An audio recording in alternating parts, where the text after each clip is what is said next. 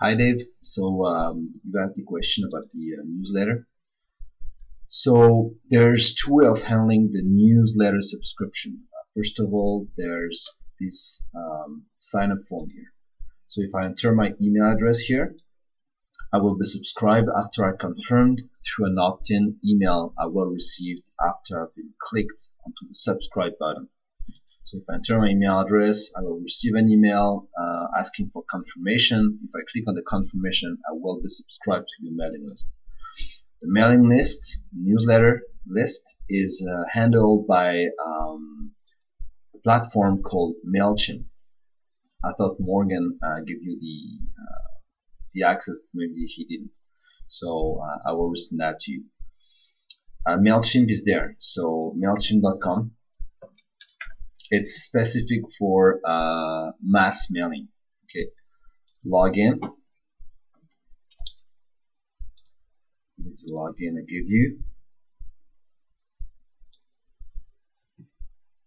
And here you are into your uh, MailChimp dashboard. So there's the list here. There's you only have one list.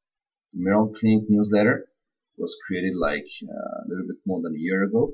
Right now you have zero subscribers meaning like nobody signed up for this, uh, which is normal. I mean, the website just been released. Uh, but when people will add anything in there, uh, you will be able to to see like subscriber going up here.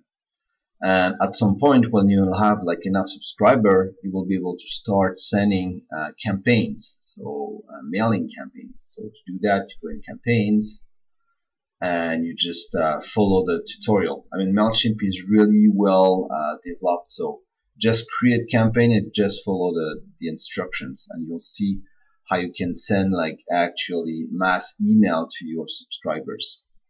So that's the first um, that's the first way of um, sign up here. Second way is is manually. So when you click on when your visitors click on book an appointment,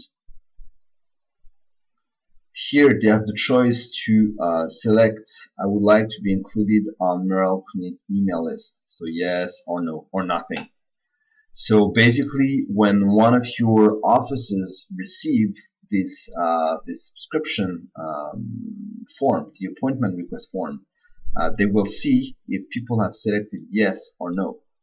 So basically I just made a test. So here this is what I just which this is what I've just done. Here I haven't uh, filled in the information. So if you see I would like to be included in Merrill Clinic email list, here there's nothing. Meaning the people, the visitor didn't agree or didn't give his consent to be added to the mailing list. So in this case, you can't do anything uh, regarding the, the recent uh, law that enforced the, uh, I mean the manage the, the way people can can send email to customers. But if he has um, ticked yes during the subscription, uh, during the appointment request form, you can add it manually. So it means you just take his email address, uh, which is here, and you just copy and you just put it right there. So you go into MailChimp, you go into list, and just click on add subscribers here.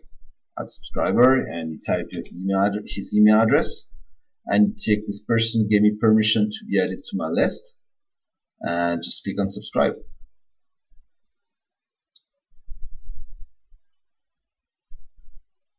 There you go. There you go.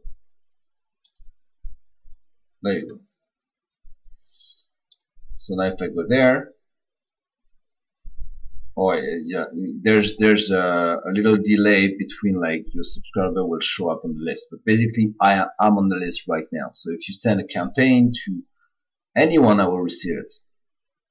So this is what you have to do for so there's two methods right? There's the automatic method on the homepage and there's the manual approach. Uh, if you see that someone ticked the yes uh, yes boxes here your staff should add the, um, the messages to your uh, to your list here. So we just click on on list and uh, just add subscribers.